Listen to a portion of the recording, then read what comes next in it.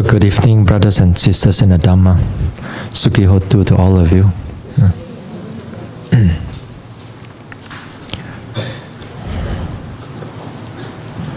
Tonight we are giving, we've been given the topic on the power of mindfulness. now,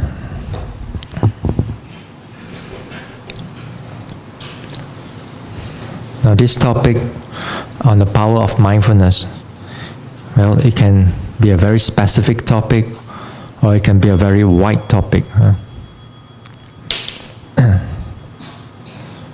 specific topic because in the way where the Buddha translate or when it's translated into English, the Buddha used also the word sati bala, the power of mindfulness. And it's a very specific term that is to be developed by the mind. But sometimes people use the word power of mindfulness in a very general sense because they thought that whenever you have some degree of mindfulness, well, your mind gets more better than before. And we thought that that is the power of mindfulness. So they're so much more deeper than what it means. So, so here I'm going to discuss for tonight um, to give you an, an understanding of what mindfulness is. Then from this mindfulness, we're going to explore this mindfulness a little bit more deeper, in a sense that you can see that there are the potential of mindfulness can grow so much more deeper than what you think it, it is right now. Yeah. And it, when it grows so much more deeper, it brings about the, dif- the, the, the different understanding, deep understanding on the Dhamma. Yeah. So, when we want to talk about mindfulness, it is good that we also must understand its characteristics. Not only just understand its characteristics, we also need to understand its difference from another state of mind. Because sometimes you may hear this mindfulness for a thousand times, but when it comes to the mind, you, you may regard mindfulness or you may out something else as mindfulness, which is not mindfulness. Yeah. And that, that can be, uh, that can be uh, confusing and or not only confusing when you go into your mental development later on, it will also becomes problematic. Uh, becomes problematic. Uh, understanding of this mindfulness uh, understanding of this mindfulness, the, the usually the translated as sati, S A T I. Now, this mindfulness, we hear it for many times. We hear it many times. So, what is this mindfulness, first of all? What is this mindfulness? Now, mindfulness here, there are two meanings, in especially in Pali. Yeah? In Pali, there are two meanings. First meaning is the sense of remembering, just like you, you recollect memory and so on. The second mindfulness is here and now, the presentness of the mind. Yeah? Here and now, the presentness of the mind. In the mental development, in a state of mental development, you want to go for bhavana, mental development, through, uh, let's say, through samatha meditation or vipassana meditation, then we are looking in the second type of mindfulness. Yeah? The first type of mindfulness, generally, if you, if you talk about, if you can remember the past, you, you recollect the past, so that too, in Pali sense, is also called sati It's also called, uh, in English, it's memory. So don't get confused this between these two. Although these two, they are also connected. They're also connected. But for now, we look at it, these are two different aspects of mindfulness, two different aspects of sati. But in, when it comes to translation into English, mindfulness, when we translate it into mindfulness, it's usually used in the second aspect of it. We don't use mindfulness as memory. Usually we don't do that. But inherently, uh, deep in a deeper sense, well, mindfulness also connected to memory. Little uh, short while we're going to discuss about that too. Uh, now, mindfulness here, when we say mindfulness, it means the present state of mind. But it's not every form of presentness of state of mind is mindfulness. You know? Not every orange color is the, the fruit of orange. But a fruit of orange is orange in color. You know? They are not the same. Okay? So, so mindfulness is a, is a presentness of mind, but not all kinds of presentness is mindfulness. It's a very specific area which is only qualified as mindfulness. If you don't understand this part between this, what is mindfulness and what is non mindfulness, although they are all in the state of present, then sometimes we may totally have wrong understanding of what mindfulness is. Okay? Uh, presentness here and now. But it comes also with another, uh, another label, which is uh, called uh, uh, heightened awareness, or it is a clear awareness, a clear presence of here and now, not just any form of here and now.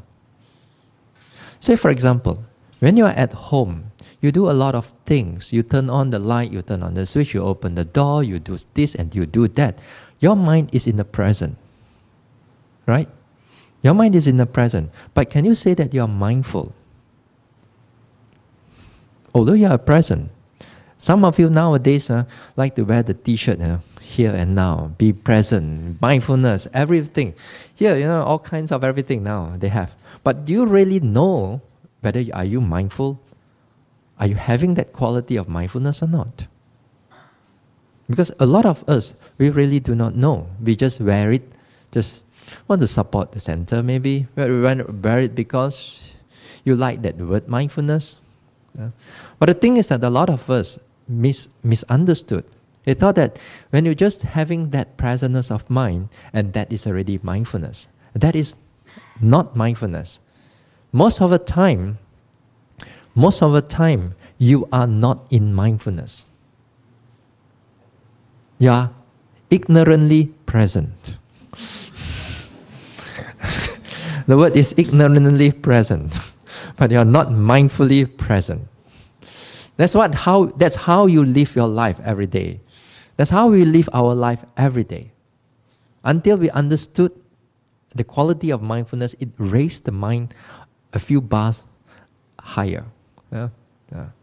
So, so, so first of all, the, the, the type of presentness that you have in everyday life, that already you put it aside. This is not already not mindfulness. Uh, uh, if if um, if you get lost into your thoughts, if you get lost into your thought, for example, if you get lost into your past, you recollect your past and, and you become totally uh, dwell inside into the past or you become start the planning and, and, and you get drowned into the planning those things are also not mindful.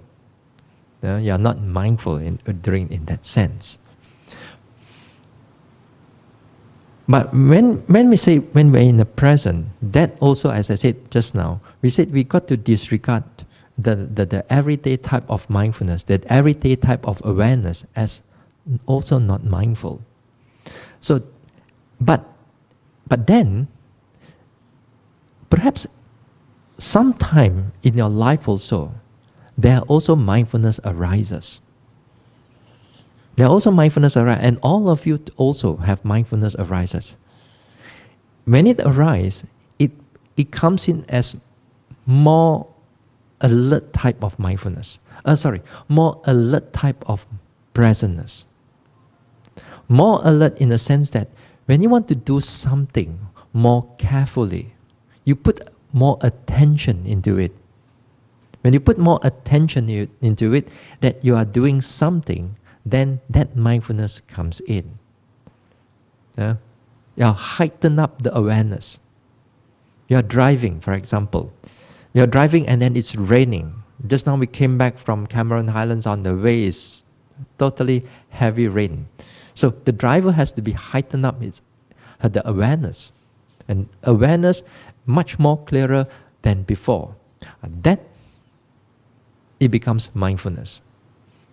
But this type of mindfulness does not sustain because after that it all disappears and all disappear. And sometimes you too also have this type of mindfulness. For example, some even some of you who are trying to do you know the thread and the needle and you want to put through the, the, the, the thread through the needle, you got to your alertness have to be there. You got to be fully alert to, of what is going on there. But most of the time we don't use the word mindfulness. We use the word concentration. You got to be focused. You got to be aware. You got to be focused. You got to concentrate. Whereas when the Buddha says concentration is another state of mind. That is when you have some degree of mindful, uh, some degree of mindfulness. You're aware of what you are doing right there. So you have that type of mindfulness.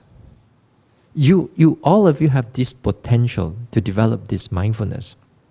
It's just that the type of mindfulness that we have every day, it helps us to protect us in some situation where we when there danger is there, your awareness is there, you protect yourself and then you overcome the danger, well and good.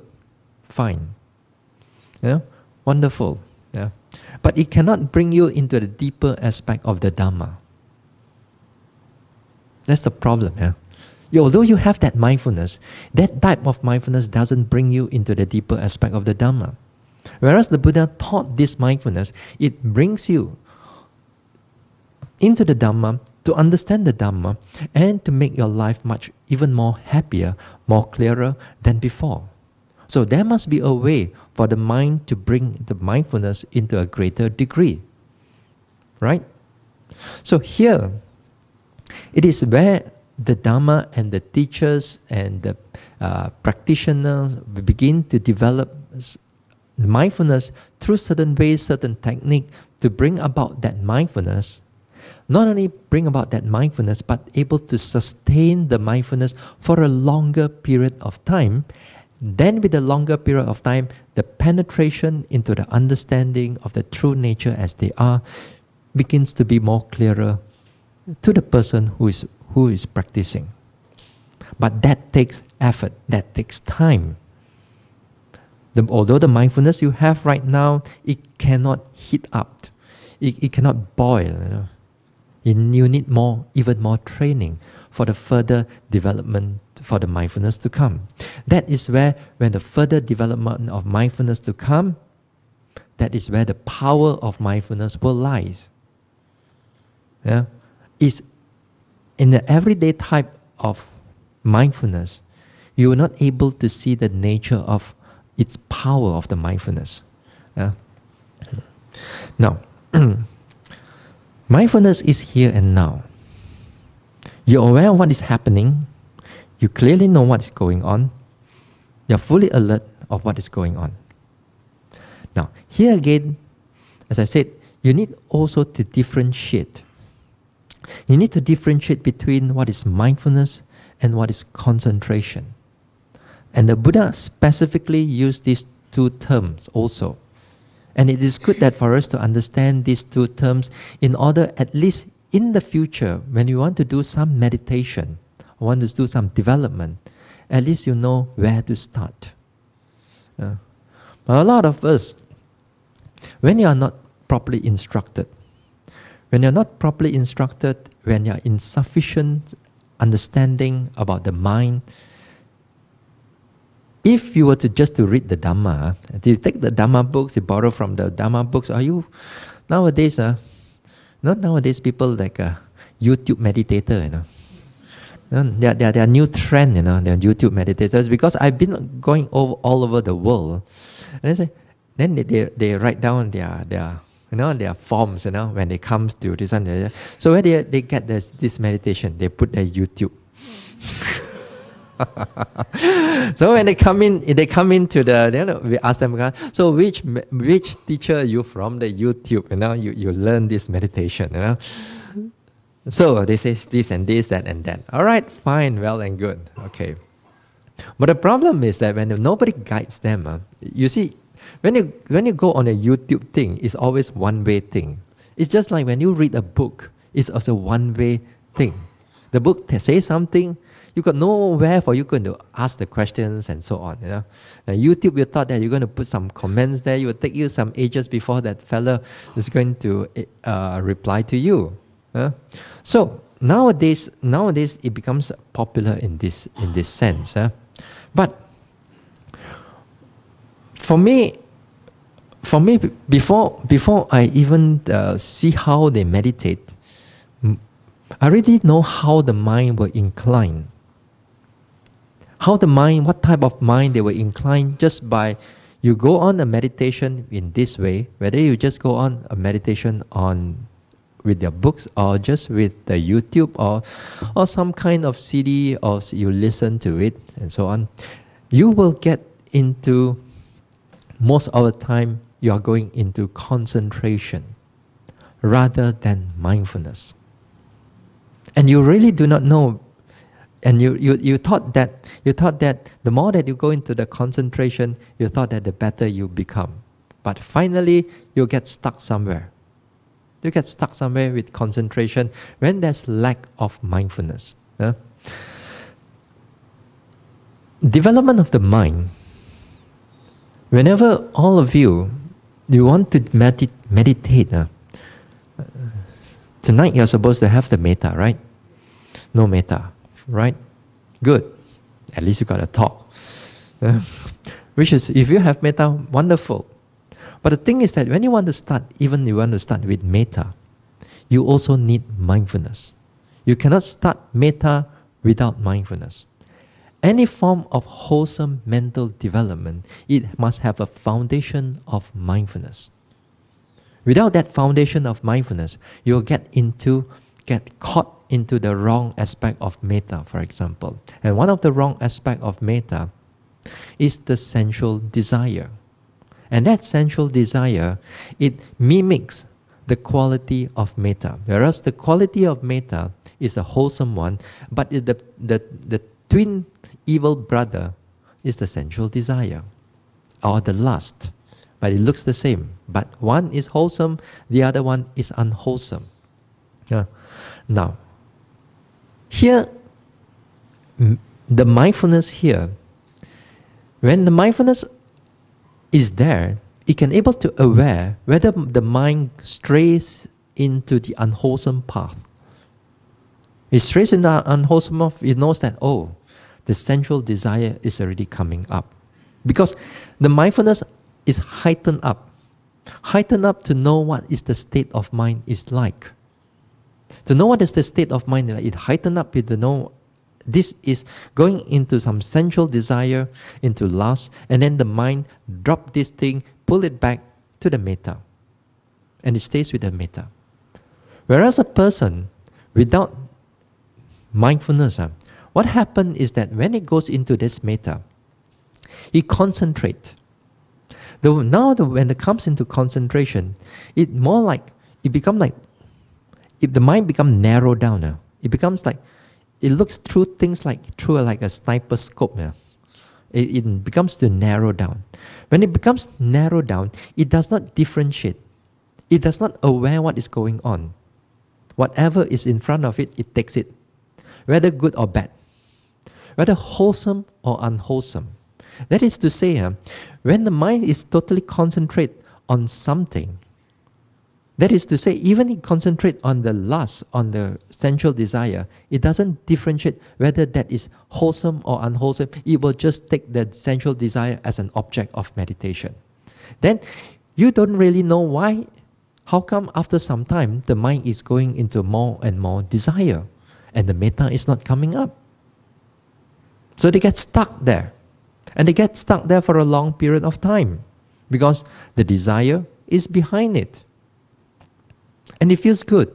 And because lacking of that mindfulness, it cannot differentiate between whether this is metta or this is sensual desire. And for time and time, he keep doing the same thing all over again. And the moment you sit down, you begin to look for that particular desire, that particular thing. Yeah. So mindfulness is very important. Yeah. Mindfulness when it comes in into the mind, yeah. when, it, when, when, when it arises in the mind, it, it comes in like you are aware of something, but there is a peripheral awareness around it. You know? You know, there's a peripheral awareness around it. You're not, when the concentration comes in, it comes in as just narrow and it does it forgets about everything else. If we forget about everything else. Whereas mindfulness comes in, and the more stronger the mindfulness becomes, the awareness of the sight, of the peripheral awareness, becomes even more clearer. And yet, when he does the meditation, he can able still concentrate or focus on the object that is going into, into it. Yeah? You can able to notice what is going on happening there and it also aware what is surrounding it at that moment of time. Whereas uh, if you have just only concentration, the mind will just only concentrate on one thing and totally every other thing have you do not know what is going on already. When you get caught into this way, some people thought that, well, it's okay. What's the problem with that? You know, what's the problem with that? After all, is, isn't it good that all your senses all become cut off here, cut off there, cut off everything? Isn't it wonderful? Isn't it calming? Isn't it, isn't it pleasant to be like that? Because for a lot of people, for a lot of people, this type of meditation, it feels good. And after all, all the whole day that you have gone into into a lot of your work and a lot of your thinking, a lot of your uh, stress, and so so on. And then you want to sit down, you want to tune out everything else, and then you just want to stay there with your breath, perhaps, with your metta, perhaps, and then you want to everything out, cut everything, stop. You thought that that is good. In the beginning, it feels good. It feels good until some time that you meditate you know that you're not going anywhere else. It will just let you feel in this way only.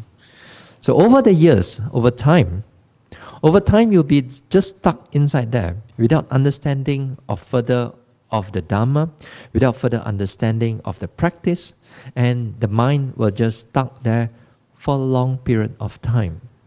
And we have seen this for, for many yogis. Yeah. Few days ago, some people came to see Sayadaw, Nyapanika. He was talking and talking and talking and says, nowadays uh, I can teach 100,000 yogis. Oh, 100,000 yogis, he says, in China. Yeah? And then these, these people, uh, when I teach them, they can get all the calmness is there. All the pleasantness, they sit there and all the calmness, they can sit there for hours, become very calm, very peaceful, very nice. Before that, they will have this pain here, pain there, pain everywhere. But now I have all this calmness, all this pleasantness. Yeah? And you sit inside there, it feels so good. You thought that that is achievement, you know. But if, if any, any monks will come and tell you this, uh, you also jump into the ship also. You, know. you, will, you will do that because it is good, it is pleasant. It is, it is, it is so different from your everyday life. When everyday life you have so much problems, you have work problem, stress, work problem, family, financial, and so on and so forth. And you want some degree of calmness. So whenever any monks were to teach you this way, you're going to jump into it. Or any teacher is going to teach you in this way, you're going to jump into it. And when you jump into it, you're going to get you get caught into it. You get caught into all this calmness. You get attached to it. And every time when you sit or when you want to when you do your sitting, what do you look for? If you got the light, you sit down, what are you going to look for? Exactly. You're going to look for that again, again, and again, and again, and again, and again, and again, and again. And come to the time that when your mindfulness is no more there. When your mindfulness is no more there, your, your desire towards that calmness is always there. Because every sitting, you'll be looking for it already. That looking for it is another word for another word for desire. It's another word for craving. And the more that you do it, the more you want it. You forget about all the mindfulness. You don't care about all the mindfulness, you don't care about all these things anymore. You to get caught into it. And you think that after, after you meditate, now you feel good. You think you're whole already. Uh. Yeah. Three hours you can sit there. All the mind tune out everything. Whatever people come in, people go out, I don't hear. I only need that only. Sometimes they don't realize. A lot, I mean, a lot of times people don't realize it. They get caught into it. Even if you do anapana, let's say, uh, some of you may be doing the in breath, out breath. Even if you do in breath, out breath, uh, the calmness is all, must, you must always keep the calmness at the background. And you always come back to the in breath, out breath again the in breath, out breath is your main object. So too, uh, the metta. And you say that may you be free from harm and danger, let's say. You know, you use this word and may you be free from harm and danger. If you feel calm, if you feel good, then that calmness supposed to be conducive for the metta. But without mindfulness, you can attach to the calmness instead of developing the metta. You're supposed to be come back, although it's calm at the background, you should come back to may I be free from harm and danger, or may you be free from harm and danger, and so on and so forth. That you are that the lines that you are going through. And if you stay with those lines, or if you stay with those breaths, then you stay with the meditation object and it will go further. And with the calmness, it becomes a very supportive role. And that is where the mindfulness comes in. The mindfulness between able to differentiate what is the right object. And he able to stay with the right object and he put the wrong object aside. It's not to say wrong object. It's to say that you know which object for you to take up. And you put the, the other, the calmness and the pleasantness at the background. And that calmness becomes a condition for a further higher development to come. But if you get stuck with the calmness, then the whole mental development will stop without you realizing it. That's why mindfulness is a very important tool over here. Important tool for you to able to develop correctly. And and and along the, the, the, the time that we are going to develop the mind, with development of this mindfulness, you need people to guide you.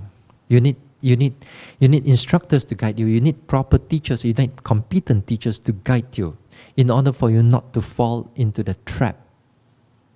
And it's easy to fall into the trap because it's nice and it's pleasant.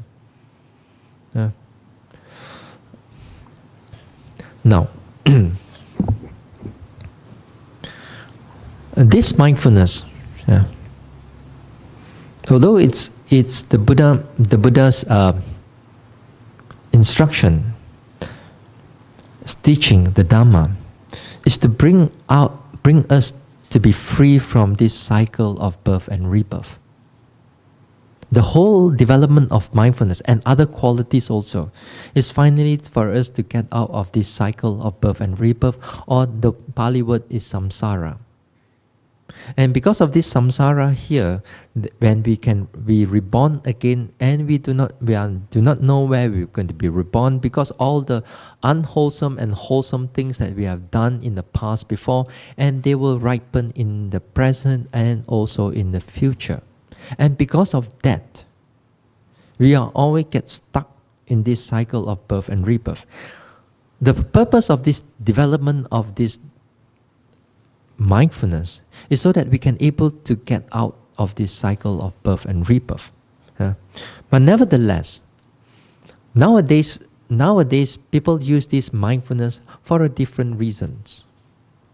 Uh, for different reasons, and and the the terrible thing is that uh, although they may use the word mindfulness, as I said, sometimes they develop wrongly. But there are also teachers develop it rightly, which is wonderful. But the purpose is not for getting out of this cycle of birth and rebirth. Nowadays, mindfulness is used in so many areas, right? You've been reading it before. Nowadays, you have yoga mindfulness, you have uh, education mindfulness, you have, you know, even the CEO, have, have personal trainer for them to train in mindfulness. You have uh, mindfulness connected to uh, pain relief, stress reduction, MBS, um, M, MBSR, uh, mindfulness-based stress, stress reduction. There's also mindfulness-based cognitive therapy, MBCT. And somehow like, hey, you got to need cert for that also. Yeah. you cannot just simply, even though you you re- do a few retreats here and there, ah, you're not still not qualified. You need to get a certification of whatever, you know. But but the thing is that the thing is that nowadays this this type of mindfulness thing, it, it, it becomes very popular. It becomes very popular in the sense that it helps people to overcome their problems or whatever problems that they have, and it gives good results. And they have studies, and it shows there are good results. But first of all, let me remind you: this mindfulness is not your God, you know. doesn't mean that you have stress. Uh, so suddenly you want to use mindfulness uh, to overcome that stress, and straight away you want to clear all your stress. It's not going to happen this way, you know. As I said, it's not your koyo, not your bum, you know. This one, uh. you need more training than that before it becomes it becomes effective, you know. If you have not done any mindfulness and you have some problem mentally or physically and something, and you want to use mindfulness immediately to overcome something, it's not going to happen overnight. All right? So it, it needs a lot of practice first before you can able to use it. But the thing is that this popular movement of mindfulness, yeah, when we when we develop this popular mindful, development of mindfulness, it it's it dilute, it dilute or it, it dilute the teachings of the Buddha. And, and every time then they, they teach this mindfulness to the masses, to the people, the Buddha is not there. The Dharma is not there. Money is there. And then you got to talk how much first, you know, because you're going to go for a course and it costs you a few thousand, you know. It's not cheap, you know, actually. so the money, you are talking about the money. You're talking about the money to overcome that problem. And then the Buddha is out, the Dharma is all out. So because of this, it becomes popular. And as I said, sometimes if Buddhist devotees, you don't understand these things, you also help to dilute the teachings of the Buddha. And, and you thought that, that that one is more important than what the teaching is. You know, because it helped to solve your everyday problem. True, it helps to solve everyday problem. It helps you solve one problem, there's, you got still got a 10,000 problem behind you. You solve this problem, well and happy, you are good. But you think that next time it won't come back again? It may come up, it may come back in another problem. And then you want to try the mindfulness to solve it, well and good. Then after that, you got to have another problem. Well and good, you solve it. How long are you going to finish it? Because your problem never ends. That's why we are in samsara. It never ends. Even you have every lifetime you learn about mindfulness, you're still in samsara. Because you can't get out of the whole thing. The nature of this mindfulness, the development of this mindfulness, is to finally to eradicate our greed, hatred, and delusion. Those are the fundamentals of all your problems. Every problem in your life, every problem you have since in the past, some in your past life, in your present life, and in your future lives is because of basically this greed, hatred, and delusion. We are when we use this mindfulness to overcome a lot of problem, is you only clear the symptoms away. Just like you know, some medicine that you go, uh, they give you Panadol. What for? Clear some headache, but you got deeper, much more deeper problem. Yeah? So a lot of times we use this mindfulness as just to clear uh, some worldly problems that we have. But we don't consider that what the Buddha thought is that when we thought this mindfulness is to clear much more deeper problem, much more deeper problem that we have in order to finish off all your suffering. We don't consider that. We, do, we sometimes we don't want to consider that. Because why? Because we homia. Ah. You know, homia, ah, you know. Life is too good. Life is nice. Life is pleasant. You know? Life is good. And that that we forget. We forget that we are in a state of actually in a state of suffering, or perhaps that we are rolling into more suffering more and more with the disease, with the stress, with so on and so forth. We cannot run away from all these things, and finally we end up in death. And finally, we are going to be born again, and you roll back to the same thing all over again. Yeah. So we can't get out. So without the help of this mindfulness, you cannot start the mental development. And you cannot start this mental development, you cannot get out of this cycle of birth and rebirth. So therefore, mindfulness is the key over here. That's why it's important for us to understand what is this mindfulness. Huh? Uh, so here, to go, on a little bit more on this mindfulness. Uh, mindfulness have a different facets, different aspect as you develop the mind further. It's the same mindfulness, but it exercises or it functions differently. Now, the Buddha used the word sati indriya. There are five faculties. One, the first faculty is saddha indriya, uh, faith faculty. This is a mental faculty, not the, not the, not the, not our normal sense organ. Yeah? This is the mental faculty. The first one is faith.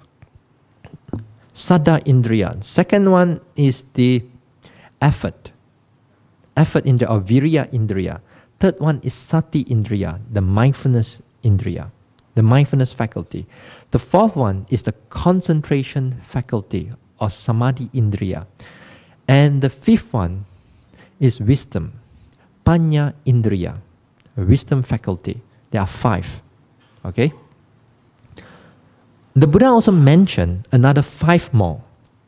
But the same quality but use the word differently. Then it begins with Saddha Bala, the power of confidence. Then they have second one, uh, Virya Bala, the power of effort, mental effort. The third one, Sati Bala, the power of mindfulness. The fourth one, Samadhi Bala, the power of concentration. And then the fifth one, Panya Bala, the, the power of wisdom. And here, when the Buddha used the word the sati here, it, it used the word differently. Same but different aspect of it. Uh? As an indriya, what does a sati as an indriya differ from a sati as a power? And indriya here, it means the word indriya, when it comes into reading the, the suttas and if you are interested in reading these things, uh, indriya means it governs, it governing. Governing what? What does it govern? That means what does faith governs? What does effort governs? What does sati governs? What area it control? Other words, your mind, uh, your mind when it works, it works like uh, something like in a factory or an office, you know. Yeah. You have multiple department, and multiple department do multiple jobs, different type of job, but for the sake of the company, right? So to at a moment of time, while let's say while even you're listening here, there is a number of states of mind. It's governed or it it works so that you can able to listen and process what I'm saying, just like everyday else, everything else also. Uh, there are a number of things here. Uh, now, take for example, an indriya of virya, effort, mental effort. What does mental effort do to the mind? What does it do to your mind? Here, the mental effort, it governs the area of activeness of the mind. It keeps your mind active. If your mind lacking of that virya, that is to say that you are going to go into laziness, mental laziness or dull, uh, sleepy, dullness of the mind, then this is where your mind begins to lack of that mental effort. Huh? You, you, you, you see that in your life. You, see that in your everyday life. Even you're, you're, you're alert. That is where your, this is what we call the virya is happening right now. It governs, it keeps the mind, it, it, it, makes the mind alert. Uh, it governs the area of alertness here. Uh, uh. Then, when you have sati, as an indriya, Sati here, it governs the clear awareness. The clear awareness here, it also means uh, that it brings the mind close to the object. It brings the attention close to the object. Sometimes in the text, they use the word face to face, uh, confronting. Yeah. During in our meditation, if you, those who are doing meditation here, if there's some degree of mindfulness is there, whether you are doing your metta or whether you're doing your vipassana or anapana, whenever you have uh, mindfulness, you will see that uh, you'll see that the mind goes near to an object. It goes near to an object. That is to say, if you take in in breath, out breath, you're not going to take the in breath, out breath far away. You're going to bring the in breath, out breath near to it. When you're near to it, that is to say, mindfulness is there. That means uh, here, as an indriya, the mind governs that area so that it brings the whole thing near to it and you watch it. The, the effort keeps everything active. If not, the mindfulness become lazy. The mindfulness also become not energetic. So the energy here it provides for that mindfulness so that this mindfulness can do its job so that to bring that job to bring that object near to it. Your everyday type of mindfulness, everyday type of awareness uh, that you have uh, is like the object is here, you are here. that far, you know. That's why you can't see what is going on. And in between is what we call ignorance. Uh. you do not know what is happening. You just go on. So the mindfulness is to bring this thing close to it, close to it. Then when it comes close to it, uh, that is where the panya, the wisdom factor, it begins to differentiate what the nature of that object. And it begins to differentiate what is the object, you begin to gain deeper insight, a deeper understanding of things as they really are. That is to say, you begin to see anicca, impermanence. You begin to see non self, what is really happening there.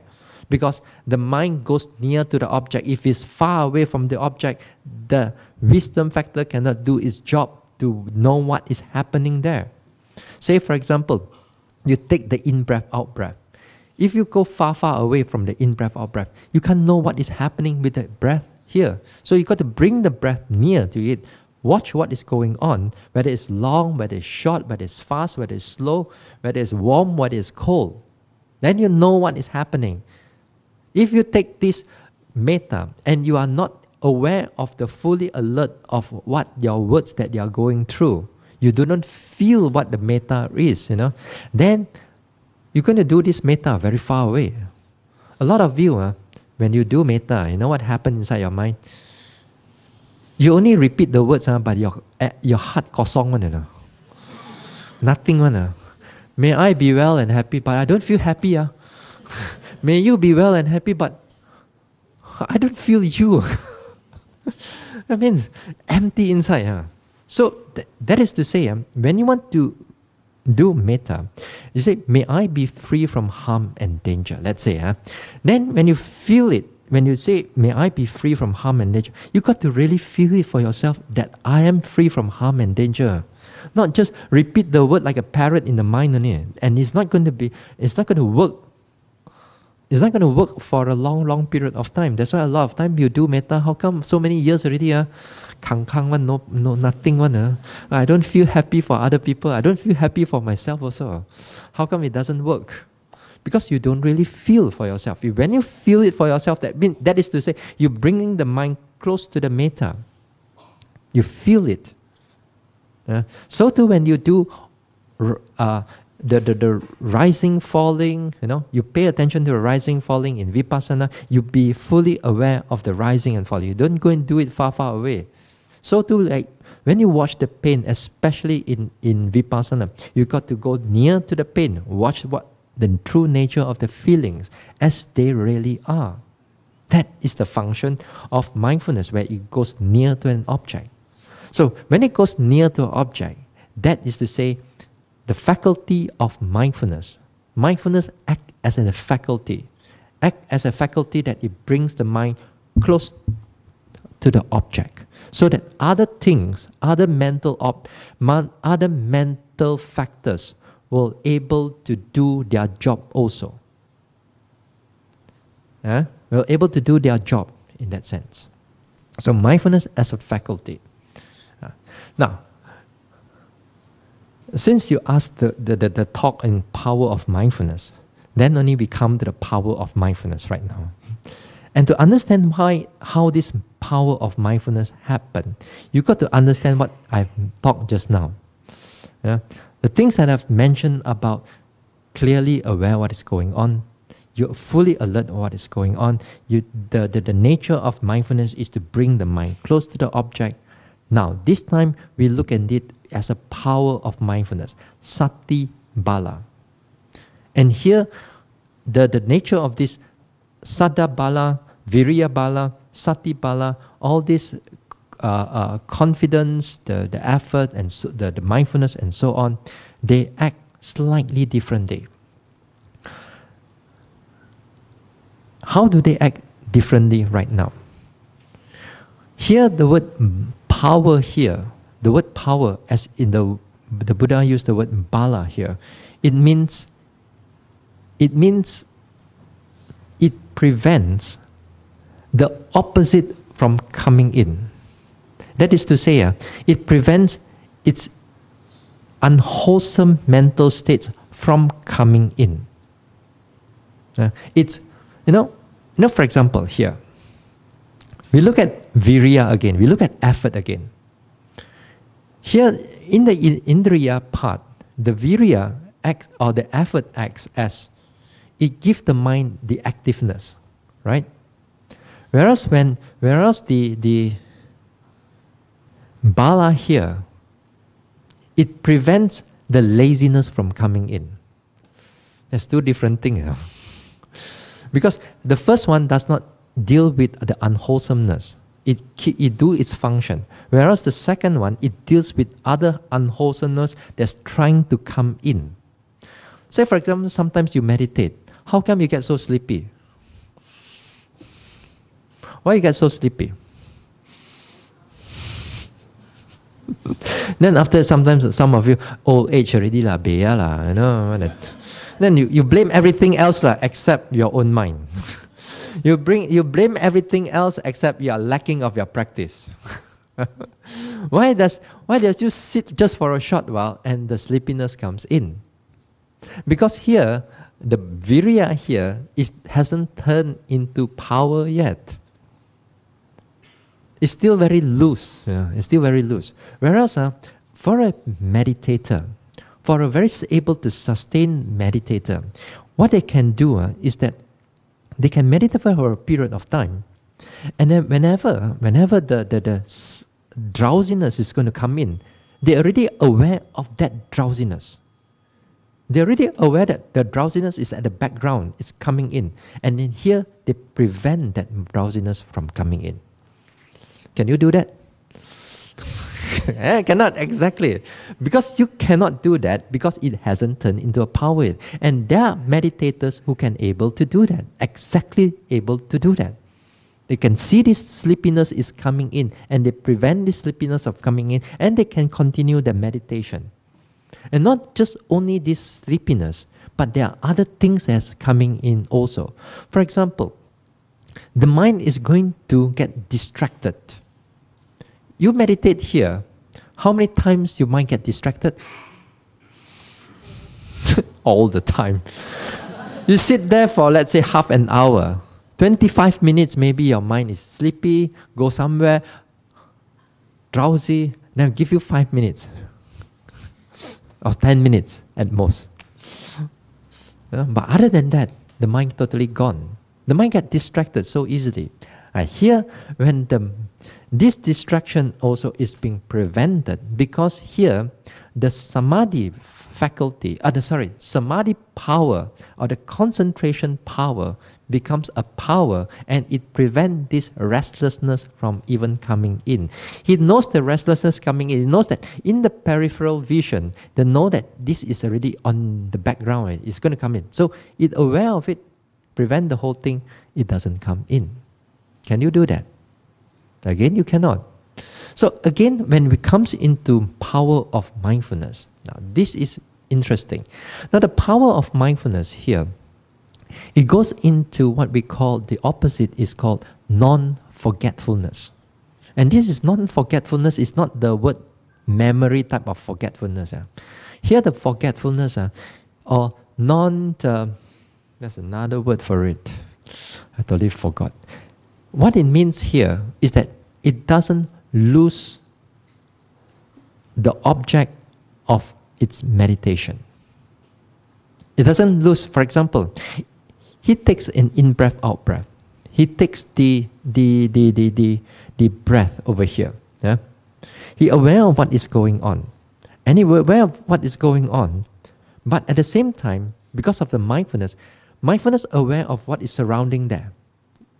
He aware of surrounding that means uh, your senses, hearing, smelling, tasting, uh, usually is hearing, smelling, thoughts, they will be around at the periphery of your object.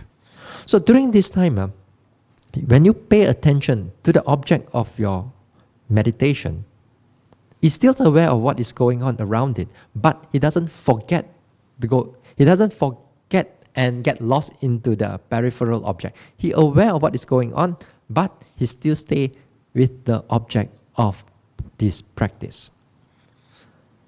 You know what I mean right now? That is to say, uh, even uh, even uh, the external noise uh, can be music, lah, you know. Sometimes for you, meditate, meditate, then the music comes in, what do you do? You sing along with it. Mental karaoke with it. if it's a, your favorite song, lah, you know.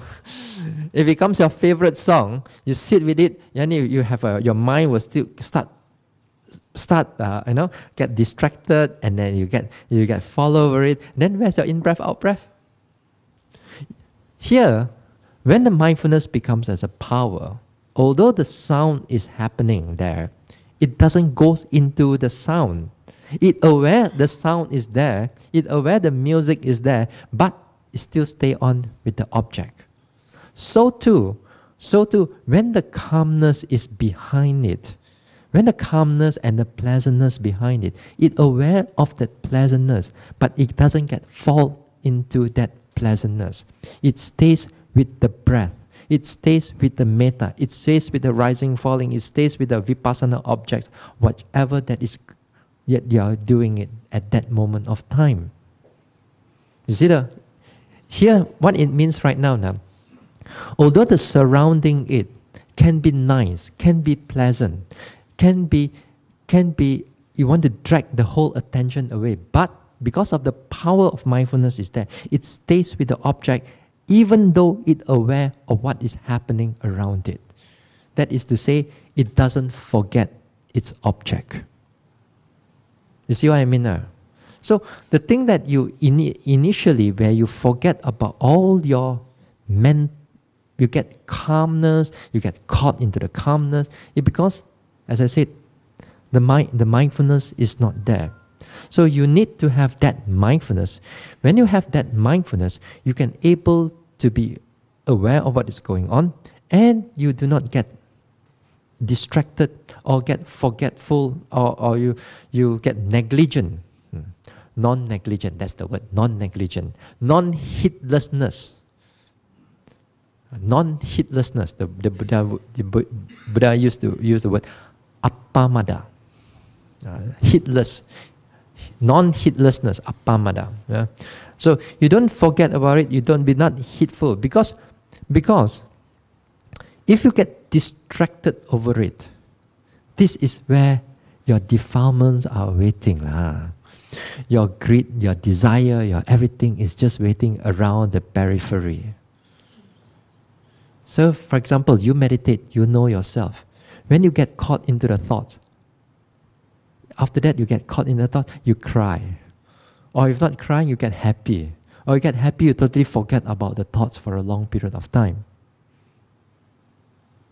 Uh, if, the, if, you, if you sit there, if you sit there, you hear something beautiful, and if you hear something beautiful and then you get caught into it, that is where your desire just waiting for you. You see what I mean? So because of that mindfulness is there, it prevent because of the power of mindfulness is there, it prevents the mind from going out into the peripheral object, although it aware of what is happening. The mind can know how to choose. So if you do not have this mindfulness, if you do not have this mindfulness, there will become a time uh, you will do not know what to choose. You will just go on attracting, get attracted to whatever it's there, whether it's wholesome or unwholesome. Because all the yogis will, you have all these unwholesome mental states inside us. But if you do not know how to choose, if you do not know how to bring your mind back again to the original path, then we can get stuck in the wrong path for a long period of time. So this this mindfulness thing, this power of mindfulness thing, when a, a yogi develops into that degree of that mindfulness, that mindfulness become very sustainable for a period of time. Here, the type of mindfulness that you have is just for a short while. Then after that, you let, really let go. That time when the mindfulness is there, it can last for a, a day or two. It can able to sustain. That's why the mind can go very far, very deep. Yeah? So this is some on something on the mindfulness thing, yeah? and and hopefully that in the future that whenever you go for um, mental development, hopefully consider this mindfulness. Because this mindfulness, if you have it, then other qualities of the mind will come in. Without this mindfulness, you're going to have a lot of problem. Okay? So we stop here. All right.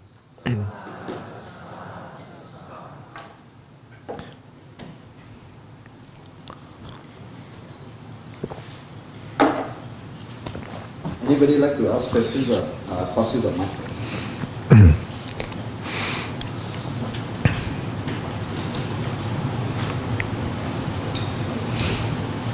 Just raise your hands and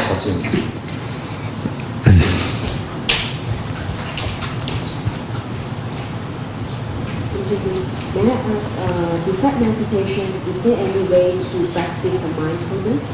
Any more options to practice the mindfulness? Because since we know that it's so powerful, how are we going to master it?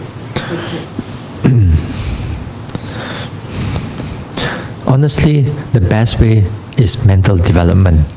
That, mean, that is to say, uh, meditation, and specifically on the area of vipassana meditation. Specifically, Uh, you develop because you really need to develop that mindfulness before you need to able to start with anything. But this mindfulness can be developed also in the everyday life. It's, it's not that it cannot be developed in the everyday life. But the thing is that do you feel the need of it or not? Do you feel its power, its effectiveness of it or not? Because this mindfulness, if you develop it in everyday life, you're going to take you for a long time before you feel its effectiveness. You're going to feel, uh, you see, we, we sometimes, uh, in the retreat, uh, yogis also go back after the retreat. They want to do something in their everyday life also. They cannot just be in the retreat all the time. They cannot be in the meditation all the time too, right? So they, they want to bring some degree of mindfulness into their everyday life. Says, well, okay, you could do that. Not to say cannot, but you don't expect that it's going to be like when you are in the meditation time. Because while you're in the meditation, you're supposed to be doing it full time. If you do it part time, uh, then part time mi- mindfulness, like, you know, then you get it full time, then the mindfulness is more stronger. That that is the fact. You know, you put in the effort into it, it will come in, going to go stronger. Now, you're gonna not gonna achieve, achieve that like uh, in the retreat. You're gonna you're gonna but you're gonna be able to do something here in your everyday life. Now, what you, what you can do in everyday life, uh, perhaps you find some time maybe 10 minutes, 15 minutes or so, you do some degree of meditation. And hopefully you do the right meditation. we, are not, we are not looking into all this practice technique and so on. You can do some degree of meditation. And if you do the right meditation, that'll be very good. Because if any form of right meditation, there will be some degree of mindfulness will be there. Even if you do metta correctly, there will always be some degree of metta, uh, mindfulness is there, although the foreground will be more of a metta. But nevertheless, what is important here is to do it every day. To do it every day. Every day, in the sense that um, you meditate whether it's going to be 10 minutes or 5 minutes or 1 hour or half an hour, depending on how much time do you have. But do some sitting every day, or some of you who knows how to do some walking meditation every day, that'll be very good. And you can alternate it. You know, one day you want to do sitting, one day you want to do walking, or you just want to do sitting, or some some days you just just want to do walking, some days you just want want to do walking and sitting. But what is important is that you do it every day. Don't worry about the time. See how much time perhaps on that day that you want to do, then do it. What is important here is to develop that habit. It's the habit, you know. It's not how much your meditation is, it's the habit. Habit to bring the mind back to the present. Whatever that you are doing, you leave it aside. Bring the mind back, and especially bring the mind back to the body. Yeah? Bring the mind back to the in breath, out breath. Bring the mind back to the rising, falling. Bring the mind back to the whole body that is sitting down here. Then, when you bring the mind back again and again, just doing it that in that way, the mindfulness comes in. And I wouldn't say the mindfulness yet, lah, but you got to, you know, this mindfulness uh, is it's like it's like you try to polish something. Uh, you cannot polish sekali you polish, uh, it can shining. Uh. You got to polish it again and again and again and again and again, and slowly and slowly it gets shining. So too, this mindfulness is also the same thing. You need to bring it the mind back again and again. Just just for that 10 minutes, just for 15 minutes, just for that half an hour, you bring the mind back to the present moment. Uh, in between, you forget, never mind, you remember, You, you bring it back again, bring it back again. Then after that, you do whatever you want to do. This is first thing. Uh, now the second thing you also need to do if you want to do some mindfulness is that to bring the mind in your everyday life when, when you are do, not doing sitting or not doing walking bring some degree of mindfulness into your everyday things, things that you are doing. Uh, say, for example, you are in the office. You're in the office and then you're in the front of the computer. And in front of the computer, in front of a laptop, and then you are doing, and sometimes you can stuck there for three or four hours. Then time pass very fast. Uh, and sometimes you get very headache, you get a lot of stress because of that. Now make it a habit if you can if you after do for a while, maybe about 45 minutes, an hour, just stop everything for a while. Just take a few deep breaths. Just stay there, forget about it. Tune out, you know. Tune out all the work that you do. Then tune into the breath and tune into the rising and falling or tune into the body. Just sit there. Just be aware of, be, uh, be present over here. Be present here. Your mind is in, initially uh, is going to rebel. You know, it's going to want to go back to that work again. But you got to make the effort to come back again. To make the effort come back. After some time, uh, what will happen to you is that uh, what is happen to you is that you can able to tune out immediately. That you want to drop that thing, it just drop and you just come inside here. It just the whole mind can be fully aware of what is going on. That is after some time. Now. How, how long is after some time? That all depends on you. La. Some people faster, some people slower. But the problem is that in between, when you don't see its effect, you say, after 走来走去，我是想 it's the same thing only uh, no effect, no change uh. So what do you do? You you white flag already. you give up already. That's it. You don't want to do because you don't see the effect there. Because, as I said, the effect will take some time for it to change the mind. You can actually able to tune out. When you tune out all this work, uh, it means that uh, you, there will be a time that you can able to distress. You know, just for that one minute, do it for that two minutes. Uh. If not, sometimes we build up the stress, build up the tension inside us, and we cannot able to let it go because it keep on going and keep on building, and we keep on thinking about it, keep on fermenting inside there. One day also you can have a lot of problem. So here, the mind can able to tune out, just back again to the breath, back again to the rising, falling, back again to the presentness of the mind. It cools the whole mind down. It cools the whole mind down and it's going to be very helpful for you in the long run because you're going to have a lot of suffering. You're going to have a lot of suffering from throughout many things that you're going to do in your life. So there is a way that using this mindfulness that you can able to help you to tune out. This is one. This is on mindfulness. But there are other ways also, there are other things also that you can do. You don't have to just do mindfulness, lah, you know. You can, for example, you, you do metta over here again. Some instead of you want to do mindfulness, instead of you do metta, yeah? you sit there, tune, come out from all, then you sit there. May I be free from harm and danger. But you really feel it uh, again this time. Yeah? You feel that may I be free. Just do it for two or three minutes. Change of meditation object. Then when you help you in, to do that, a lot of times it helps the mindfulness, it helps the state of mind, it helps it overcome the stress, it makes the mind much more open and much more relaxed in the long run. But the thing is that can we sustain that? If you don't see its effectiveness of it, very soon you will give up.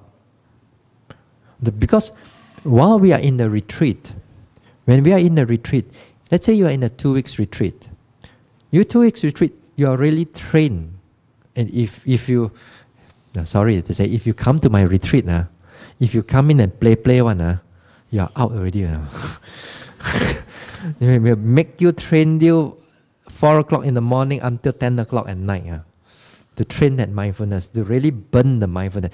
Then when you see that mindfulness after two weeks, uh, see the power of that mindfulness, then you really appreciate that mindfulness. Then when you go back, then only you feel there's a sense of that mindfulness is can be part. It is wonderful thing. But if you don't feel that thing yet, and you expect to do it in everyday life, well, you don't see its effectiveness in a short run.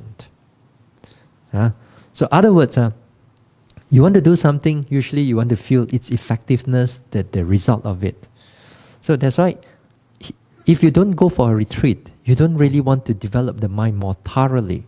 And you want to just stay here. Not to say cannot, but it will take you some longer period of time. Okay?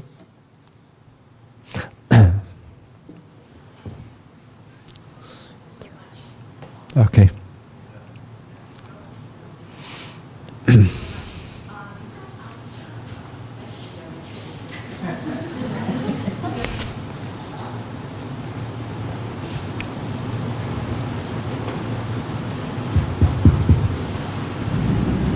Do you know where is your retreat? Because uh, I think the correct and proper method to, to, to master this mindfulness is very important. Um, I have retreats here and there. The next retreat will be a three months retreat.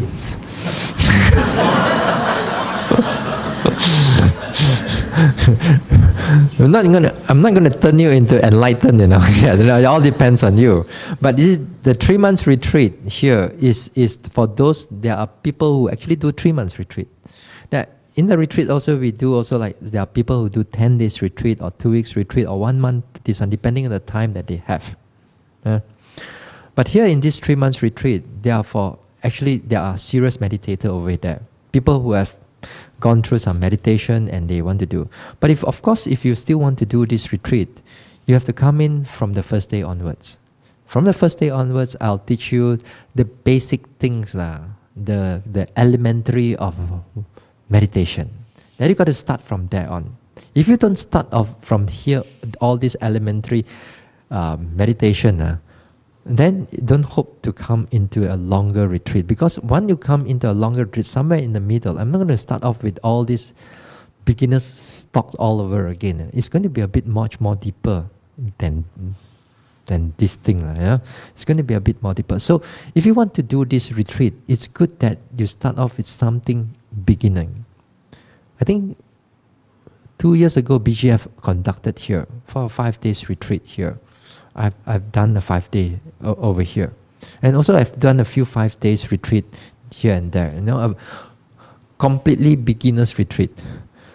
Completely beginner's retreat. And that will be very good for you to understand some degree of mindfulness. So hopefully the next retreat will be in Kota Tinggi. I move around, I move around. I don't have a base here. Wherever people invite me, I go if I got the time. If I don't have the time, I shake leg.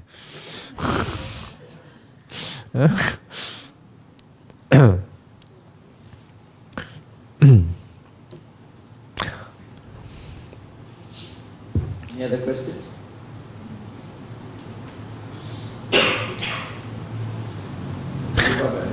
If you want to know the, the other retreats coming up, uh, you, you look into my blog. You type my name there in Google, you will, usually will come up the first one.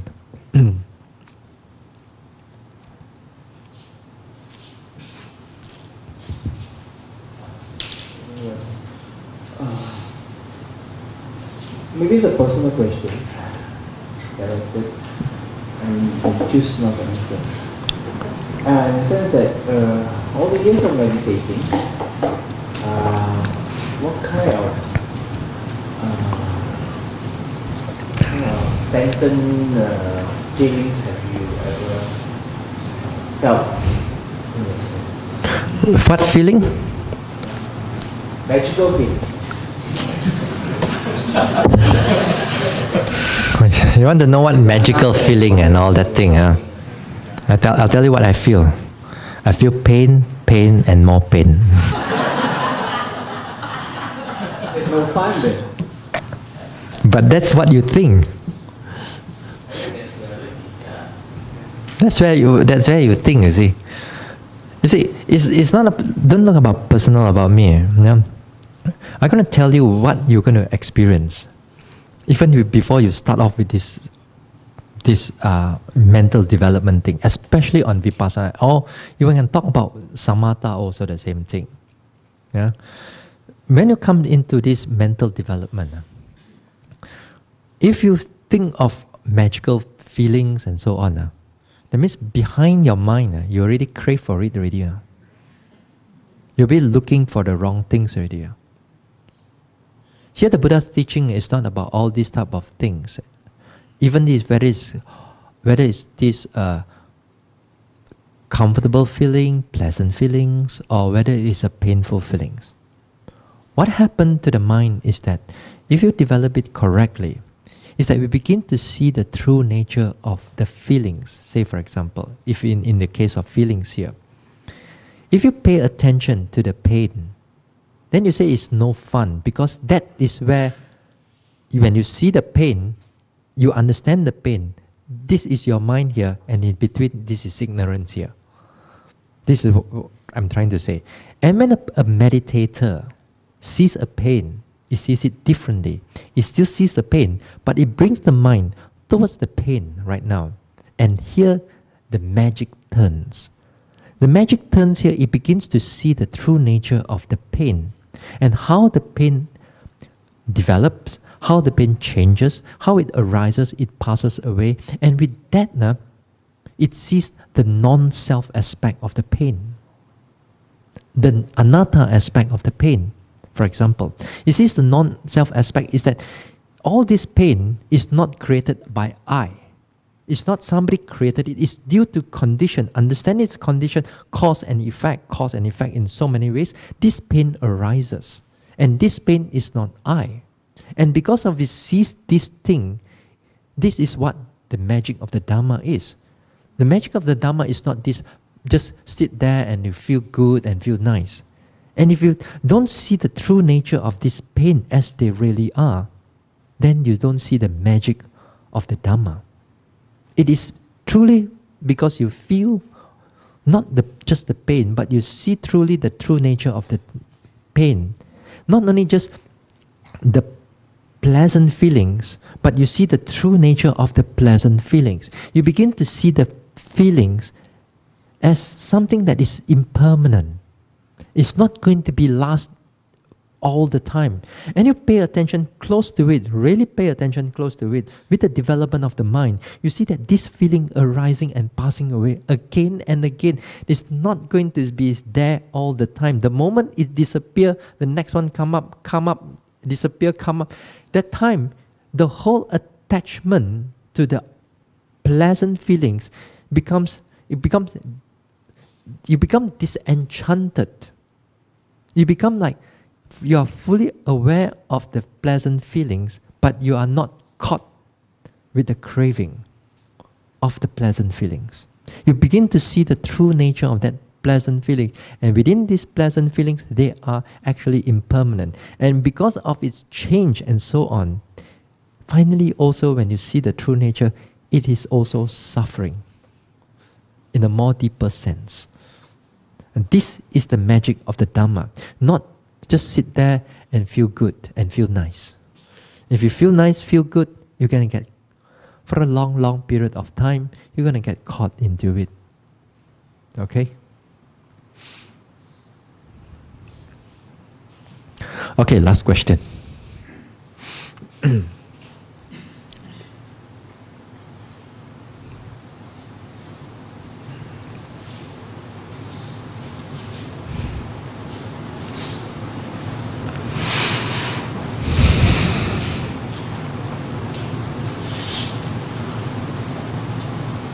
Am I? Hmm. Doesn't matter. Just so you mentioned about um, in the metta meditation, so you said to feel it. Is it right that when we visualize, say when uh, may I be well and happy, may I be free from harm and danger, so you, you, you visualize that you're actually in a bubble where you know, we can like In a way, in the beginning part, yes. You could visualize in the beginning part.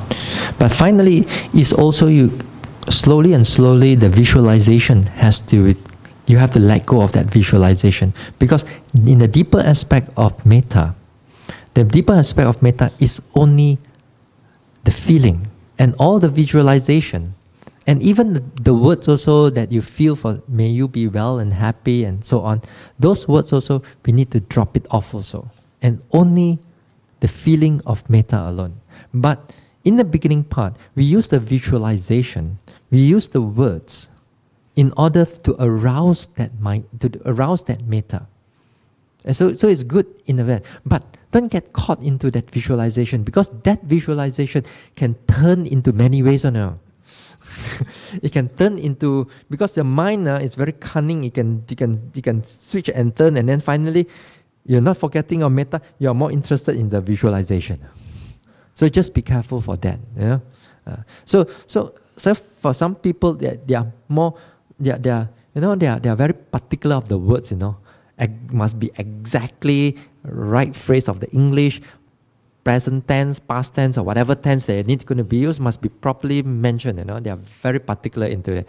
So some people have a different different um, inclination. So if you are visualizing type of person, make sure that when you do this metta, don't get caught into this visualization. This visualization is just to help you to arouse that feeling of the metta.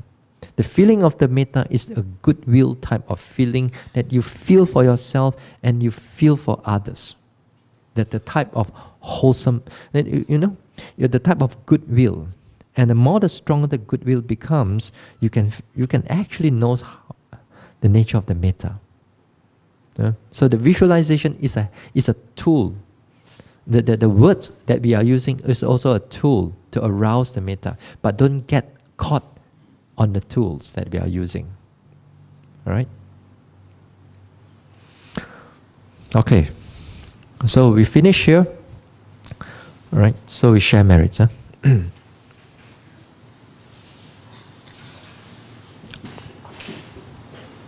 Now follow after me. Idang me punyang. Nibbanasa Pachayo Hotu. May these merits. Be a condition for the realization of Nibbana. Idang me silang asawakaya wahang hotu may my virtue be a condition for the eradication of all mental defilements. Imang no punya bagang sabba satanang dema we share these merits with our departed ones, with all beings, and all the devas. Sape satta, sukhi hontu, anumodantu. May all beings be happy. May they rejoice in these merits. sábio.